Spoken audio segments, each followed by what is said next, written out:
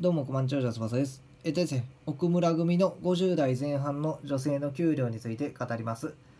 ただいまね、リアルな表面最初集めたものを再生リストに並べてますので、動画説明欄に URL 貼ってますので、よければそちらからおたどりくださいませ。では、いきます。基本給が36万4千円。時間外手当が4万3千円。家族手当が1万7千円。役職手当が7万4千円。通勤手当が1万円で、月収が50万8000円ですね。賞与が年間2回で203万4000円。年収が813万5000円となってます。また年収サイトと有価証券報告書よりですね。はい、終わります。